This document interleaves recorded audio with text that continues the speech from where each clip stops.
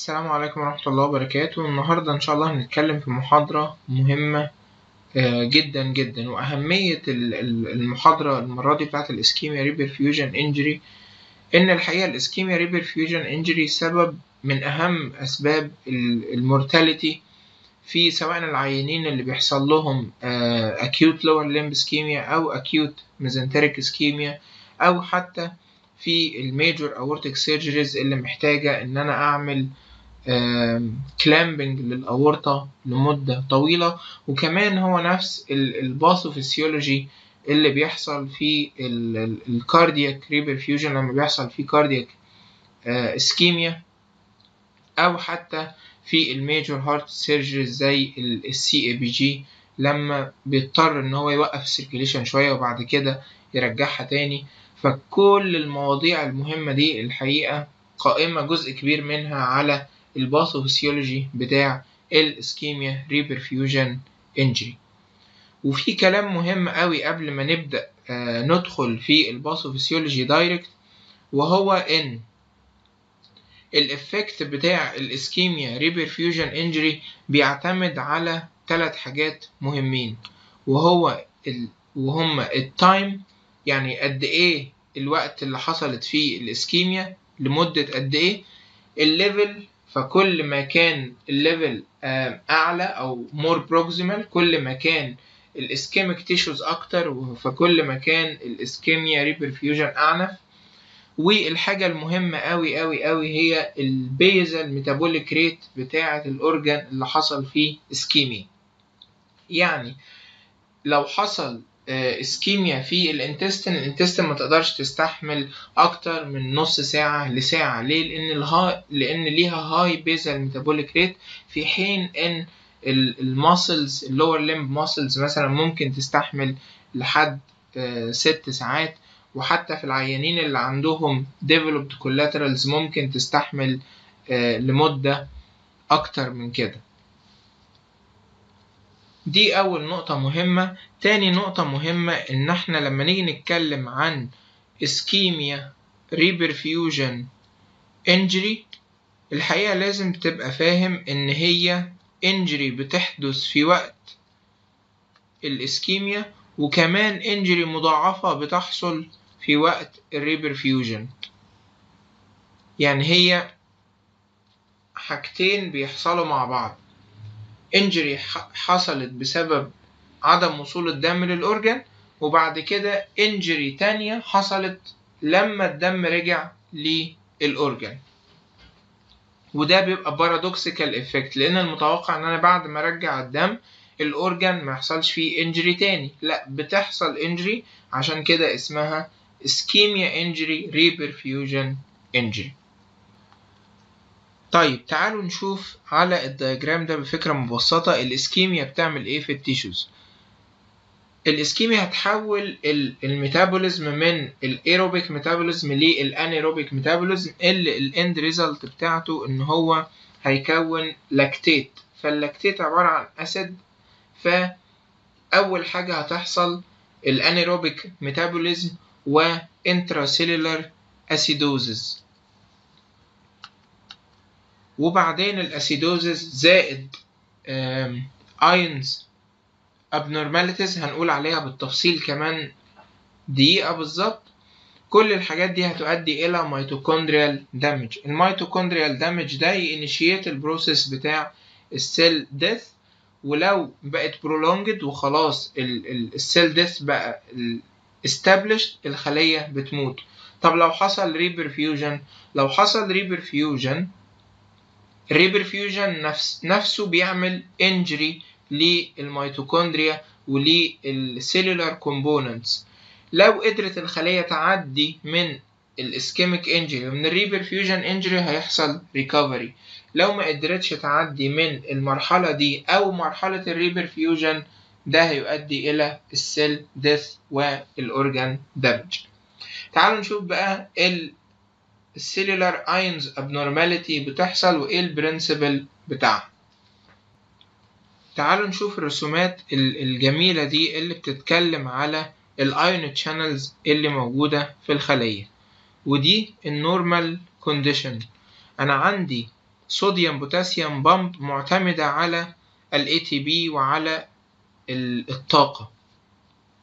وعندي calcium efflux pump بتطلع الكالسيوم من الخلية ومعتمدة برضو على ال ATP وعندي sodium calcium transport channel بتشتغل إن هي بتدخل الصوديوم جوه وبتطلع الكالسيوم الزيادة بره.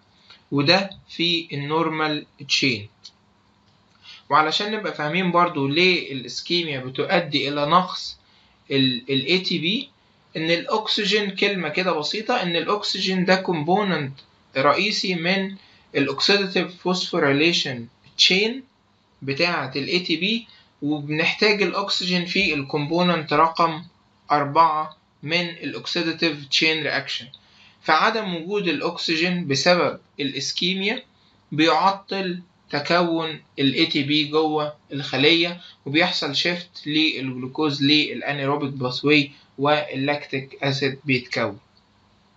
طيب تعالوا نعطل ال channels اللي بتشتغل بسبب ال ATP فمعنى كده إن أنا هضرب ال sodium potassium channel طب ال sodium potassium channel بتشتغل إزاي؟ الطبيعي إن هي بتطلع الصوديوم بره لأن ال concentration بتاع الصوديوم بره في السيتوبلازم أكتر 135 ل 145 والبوتاسيوم هو ال main electrolyte جوه الخلية فالطبيعي إن هي بتدخل البوتاسيوم جوه. اضرب الكلام ده فالصوديوم اللي جوه الخلية يزيد فعندي hypernatremia طب الحاجة التانية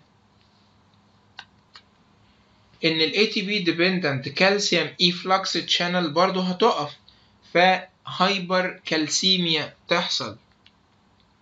والحاجة التالتة إن ال sodium calcium transport channel تعكس الاتجاه بتاعها نتيجة لوجود hypernatremia جوه الخلية. فبدل ما كانت بتدخل الصوديوم جوه لا ده تطلع الصوديوم بره وتدخل جوه كالسيوم فتبقى additive harmful effect لل hypercalcemia وبكده يبقى ال net electrolyte changes اللي بتحصل جوه الخلية والترتيب بتاعهم ده مهم. ال acidosis تليها ال hypernatremia ثم ال hypercalcemia الكلام ده يعمل إيه؟ ال increased calcium وال reactive oxygen species ودي جت منين؟ انت ما قلتهاش قبل كده. آه ما هو دلوقتي ال ischemia لما حصلت ده أنا قطعت ال antioxidants منعت وجود ال antioxidants للخلية. فال free radicals اللي normally بتتكون مش هتلاقي حد يشيلها فبالتالي هيبقى في زيادة في ال concentration بتاع ال free radicals زائد ال increased calcium اللي إحنا عارفينه وقلنا بيجي منين؟ كل ده هيغير ال mitochondrial structure و function ويكون حاجة مهمة قوي أو يفتح فتحات في الميتوكوندريا تعمل mitochondrial injury مهمة جدا اسمها ال MPTP أو ال membrane permeability transition pores ودي ت initiate برضو وتساعد في ال denaturation of the cellular components وتعمل ال cellular damage اللي اتكلمنا عنه قبل كده. طيب انت قلت لي ان ده cellular damage فما دام كلمة damage موجودة في الجسم لازم الجسم هي react هي react للموضوع ده عن طريق إيه؟ عن طريق activation لل inflammatory cells وال inflammatory mediators اللي منها ال tissue necrosis factor وكمان ال release بتاعت ال inflammatory mediators والكلام ده كله يعمل إيه؟ يزود ال permeability لل tissues ويعمل حاجة مهمة هنتكلم عليها أو جزء من ال pathophysiology بتاع حاجة مهمة هنتكلم عليها في ال reperfusion اللي هي ال no flow reflow phenomena بطريقة بسيطة كده بتحصل ليه؟ لأن ال exudate اللي اتكون قفل ال very small capillaries فلما تيجي ال circulation تبقى restarted تاني هيبقى في reflow موجود في ال vessels الكبيرة ولكن الدم مش قادر يدخل جوه ال very small capillaries لأن هي مضغوط عليها عن طريق ال interstitial fluid فتعمل ال no flow reflow phenomen تعالوا كده نراجع مراجعة بسيطة. ال tissue hypoxia عملت إيه؟ قللت ال oxidative phosphorylation عن طريق complex 4 اللي بيحتاج الأكسجين في تكوينه فهيقل ال ATP production وكمان الميتوكوندريا مش هتعرف آه تعمل scavenging لل free radicals فقلة ال ATP production يعمل dysfunction قلنا عليه في ال ion pumps حاجة مهمة منه بتحصل اللي هي ال hypercalcemia.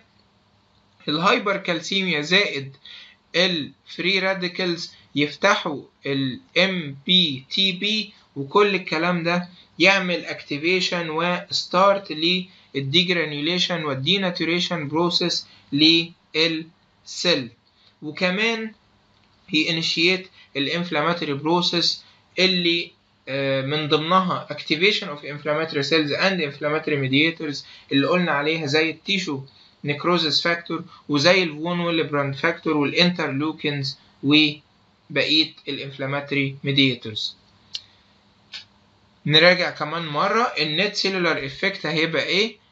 increased ال intracellular صوديوم فده يعمل swelling إيه ده؟ أنت ما قلتش موضوع ال swelling ده.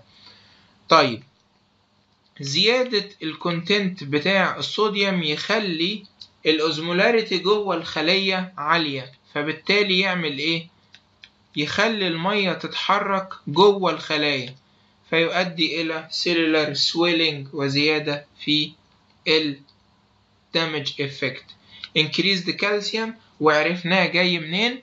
من ال inhibition of ATP calcium efflux channel ومن ال reverse بتاعة ال sodium calcium channel.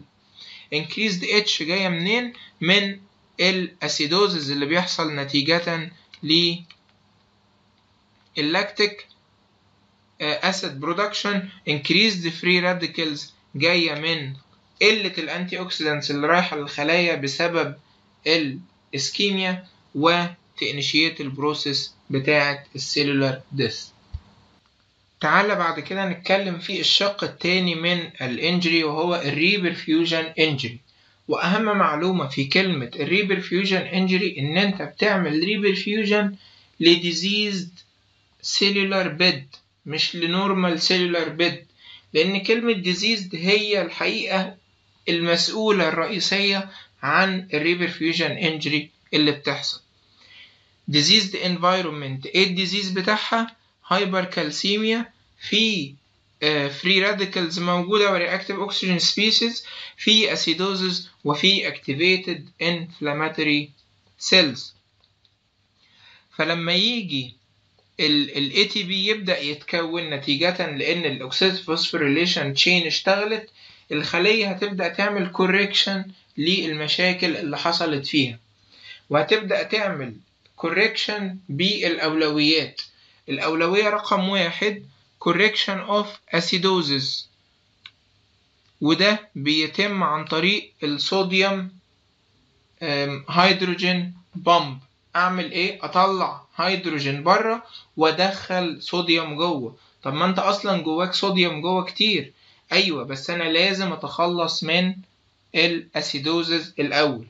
طيب تاني حاجة صوديوم correction عن طريق إيه؟ عن طريق الصوديوم بوتاسيوم ATPase pump فوجود ال ATP دلوقتي هيساعدني أتخلص من الصوديوم الزيادة.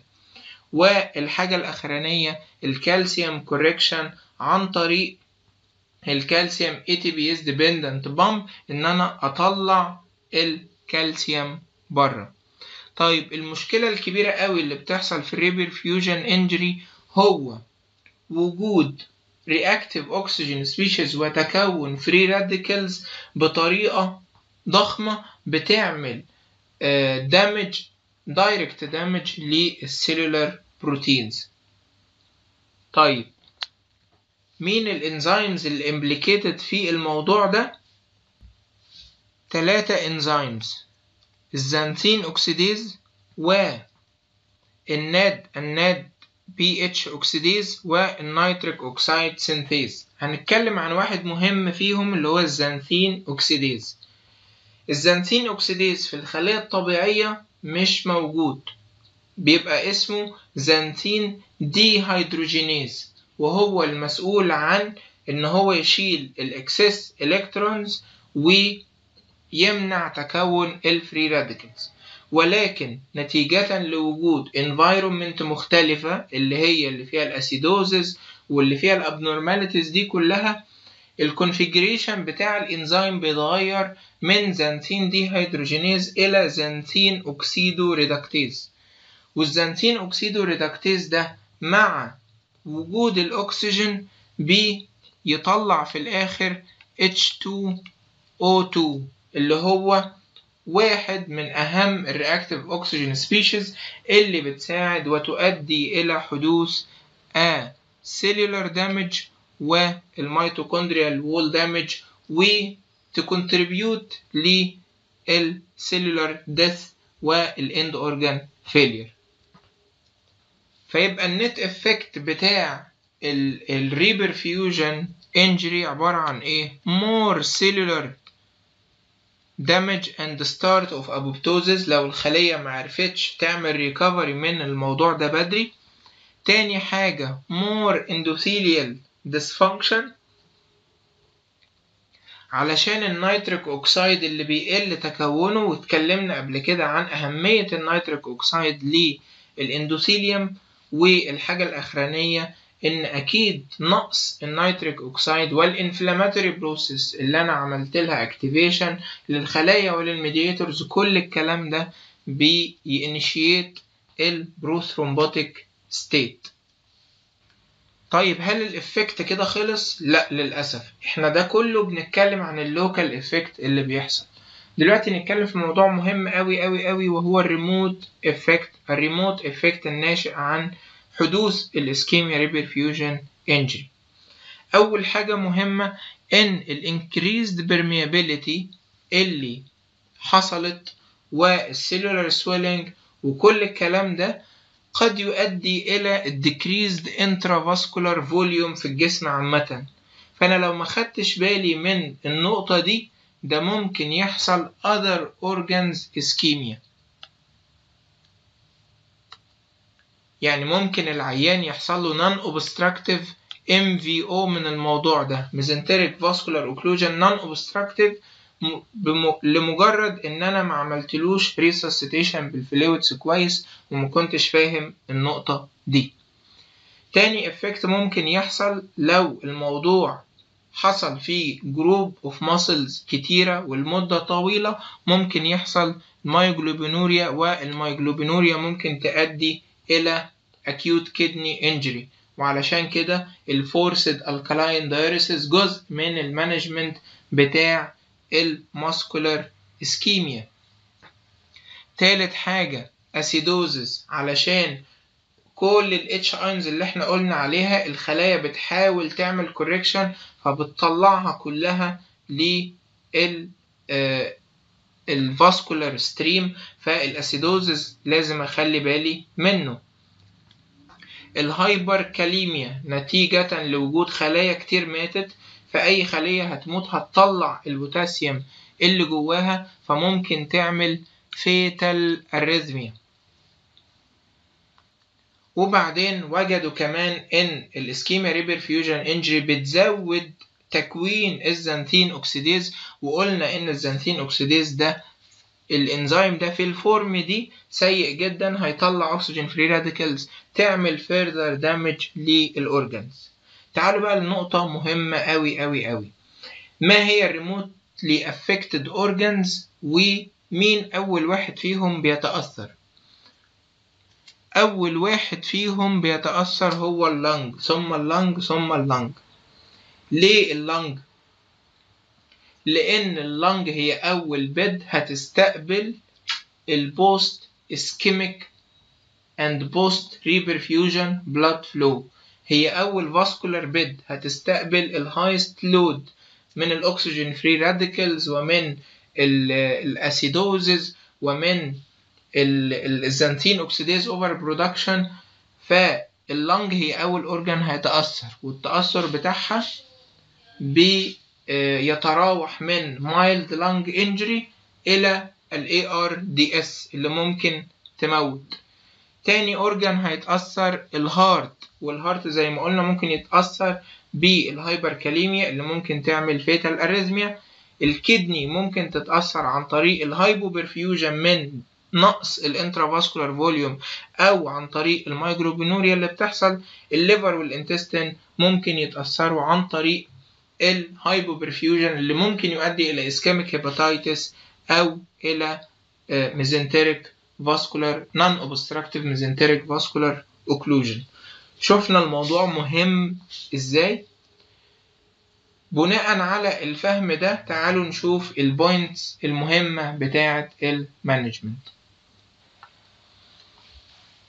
ال management strategy بتاعتي هتتكون من إيه؟ اولا قلل ال ischemia time على قد ما تقدر. طب أقلل ال ischemia time إزاي يعني؟ بال rapid intervention حاول تعمل intervention بسرعة على قدر الإمكان. ثانيا قالوا إنك تعمل cold ischemia. طب ليه cold ischemia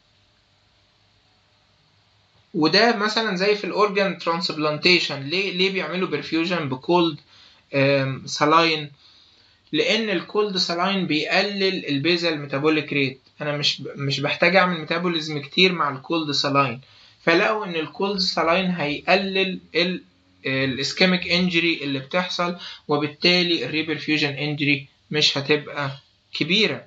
ولقوا كمان إن ال pulsatile perfusion fluid دي كلها طبعا theories وبيحاولوا يشوفوا هل هي فعلا scientifically فارقة ولا مش فارقة. لما لقوا إن هم بيعملوا pulsatile perfusion fluid كمان بتحسن النتائج في بعض الحالات.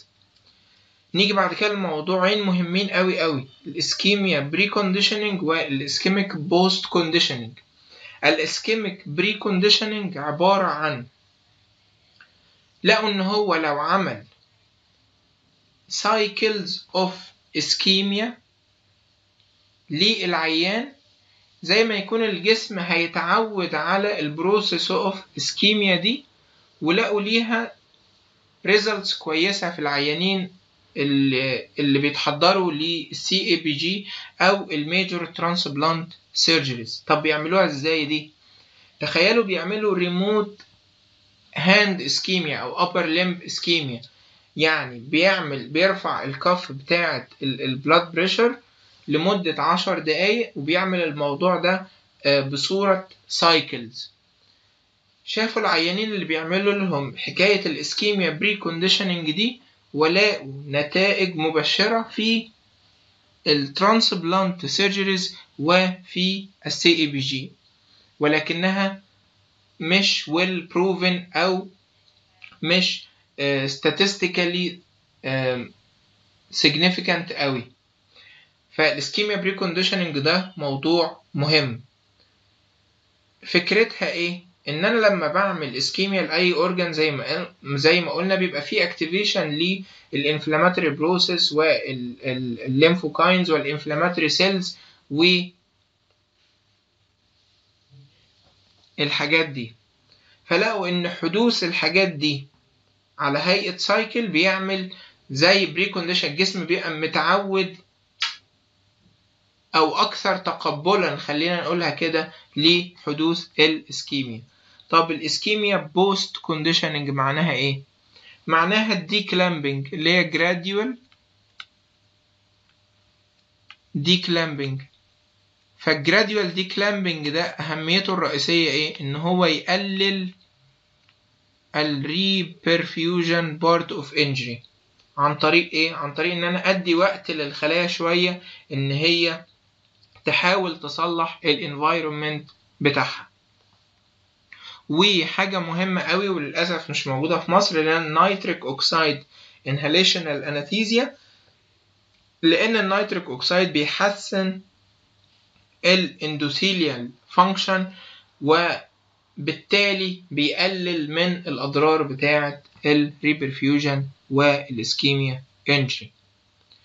Adequate replacement and electrolyte correction طبعا مهم جدا جدا. عشان كده يفضل إن إحنا نخلي أي عيان بعد ما عملت له lower limb embolectomy أو thromboembolectomy إن أنا أوديه الرعاية على الأقل من 24 ل 48 ساعة على الأقل علشان monitoring of the reperfusion injury and electrolyte correction. أنا عارف ان هيحصل له hyperkalemia ممكن تجيب له fatal arrhythmia وممكن تموته. أنا عارف ان هيبقى عنده severe acidosis أنا عارف ان هيبقى عنده lung injury قد تصل إلى حد ال ARDS ويحتاج معاها العيان ventilation فبالتالي الموضوع ده مهم. أنا عارف ان هيبقى في زيادة في ال permeability فبالتالي لازم أعمل replacement لل intravascular volume كويس علشان أمنع حدوث ischemic tissue injury في distant organ ولقوا إن برضو بعض الحاجات ال medical treatment مش well proven قوي ولكن بيجربوها زي ال mannitol. ال mannitol ليه؟ علشان بيخلي بيحافظ على ال fluid في ال intravascular component وال allopurinol علشان هو xanthine oxidase inhibitor فبالتالي هيقلل ال effect بتاعه. ال methylprednisolone لقوا إن هو بيقلل ال inflammatory effect أو الجزء ال inflammation اللي موجود في ال ischemia reperfusion injury وال statins بطريقة مش مفهومة لقوا إن العيانين اللي ماشيين already على statins النتائج العمليات بتاعتهم أفضل. اللي هي ال major surgeries زي ال aortic surgeries وال CABG والبروستا جلاندنز وزي ما قلت كل الحاجات ال medical treatment دي مش يعني بعض الدراسات قالت إن ليها فايدة والبعض التاني قال لأ مفيش فايدة كبيرة قوي ما بين إن إحنا نديها أو ما نديهاش. ويظل موضوع ال ischemia reperfusion injury من أحد أهم المواضيع في ال vascular injury وفي اي في ال vascular surgery وفي أي جراحة بتتضمن ischemia ال organ لمدة طويلة زي ال organ transplantation وزي ال CABG